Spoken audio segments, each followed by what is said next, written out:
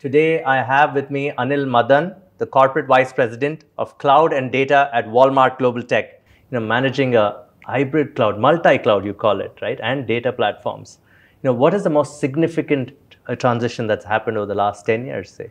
Yeah, so look, I mean, we are in this whole, what I would say, generations of trans- transitions which are going on. I mean, look at a decade back, there was a lot of push to get out of on-prem infrastructures to cloud. So the whole cloud revolution of how you scale for, for your customers. I think in the last, what I would say, five to 10 years, there's been a huge push to digital.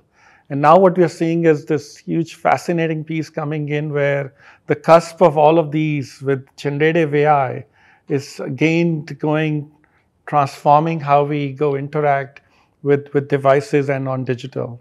And uh, generative AI in general is now creating a big push internally within Walmart of how we think about customer experiences and our associate and member experiences. Multi-cloud and data, I mean, there's a lot of transformation which has happened in the data and how we deal with data, how we process data, how we capture data the advent of big data, with the advent of new, faster ways of processing, streaming platforms, how we deal with incremental updating of, of capturing and transforming data, and then feeding that back quickly into making intelligent decisions is something which the big data revolution has disrupted the industry. And we are at the forefront of adopting those in the cloud at the scale for Fortune 1. Okay. So the, the technology with both the cloud and data coming together in a powerful way is helping us you know create that that experiences for, for which was not thought possible about a decade back. Hybrid multi-cloud, what do you mean by that? And data platforms together. You gave us a foundational experience or knowledge of what happens in the store to the customer. But in the back end is this hybrid cloud environment. Yeah. Explain that to me for the benefit of the audience. Yeah, so all of this is powered by a huge, what we call as a distributed cloud internally. And the distributed cloud basically is a combination of uh, a triplet model which we have created. Now, the triplet model, largely what that means is we get these public cloud providers and our own private cloud, start working them as a triplet with two public cloud providers and one private cloud, where a three-legged stool comes together, right, to create these amazing experiences. Now, what that helps is you now start looking at best of innovation across both cloud provided, public cloud provided, as well as open source, and connecting them at scale for Fortune 1 to both, both for innovation as well as cost. Anil, there's a blurring of lines between in-person, you know, offline experiences to online experiences you know, how's that changing customer experience at Walmart? At the end of the day, first, let me explain what the experience is. When you say the word experiences, what do we internally mean? It means our e-commerce and our store experiences, retail experiences, so customer going into, into the store or into the club. It includes our fulfillment centers and distribution centers. Like fulfillment centers come in play if you order online. Distribution centers is all about making sure our retail and our clubs are, are constantly replenished. And then it includes all our last mile and our supply chain. What that also means is, you know, how are we going fulfilling these orders? So when we talk about experiences, first of all, we're talking about several personas here. Not only the customer or the member, but also our associates in our fulfillment centers and distribution centers. And last but not least, the drivers, which eventually go fulfill items for our back to our customers and members. So that's really what we call as the end-to-end experiences. Now, how we are translating that into with technology is what we've done is we've built one of the largest multi-hybrid cloud.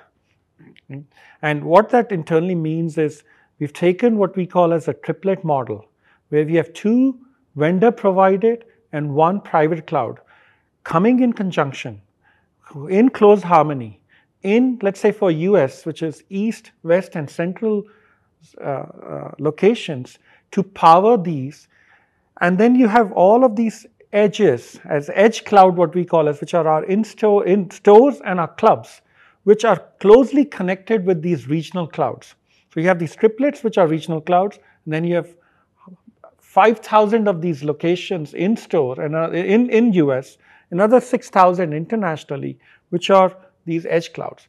This creates like a huge distributed cloud for us.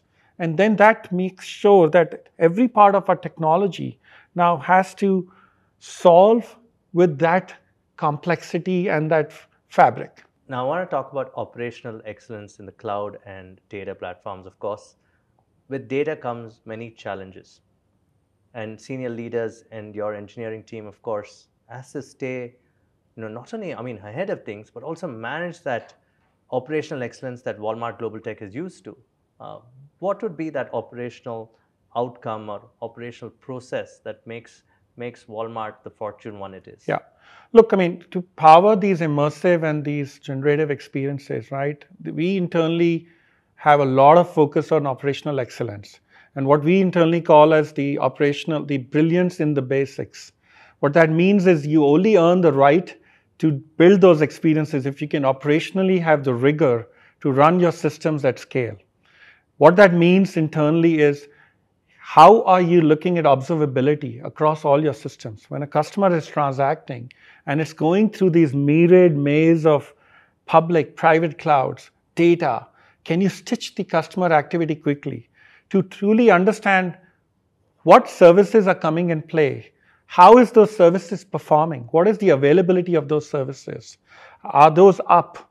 What is the uh, uh mean time to, what is the uh, uh, latency and response time associated with each request coming in so that we, we measure performance, we measure latency.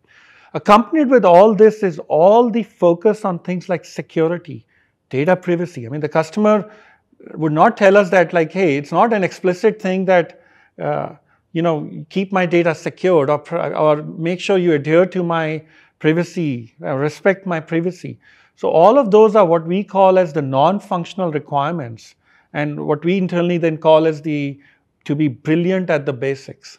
Now I have to talk about GenAI and its application from a from a Walmart global perspective. Can this be applied globally as well? Yes. So what we are doing, like since you alluded towards technology which powers mm-hmm. this, what we're doing is we are taking a platform-based approach in how we have how we have uh, uh, how we're going to be leveraging and scaling this because you know suddenly this can become extremely expensive if not done right. We have built in the last few years a highly robust platform called Element.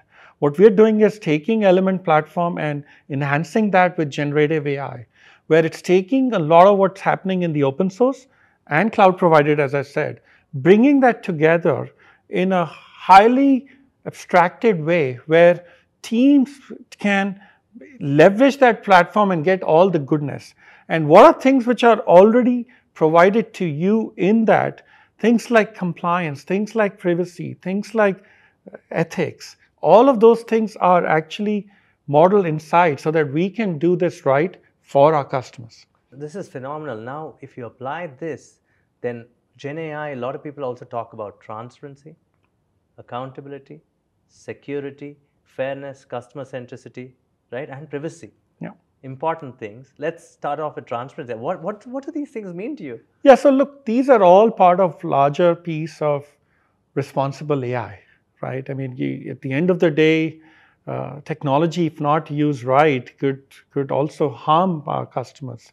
So what we we are while we're customer backed, we also are, are led through our Walmart values, and those go back and highly intersect with making sure that the responsible AI is, is being applied in, in how we build technology and how we serve our customers with that technology. So we recently, last month, announced the Responsible AI Pledge to the industry. This was preemptively even a month earlier than the recent one with Joe Biden, uh, our president, launched in the US. So we are ahead in the game where we understand, look, our customers are at the forefront and all the values you described are adhered in how we build and how we serve our customers.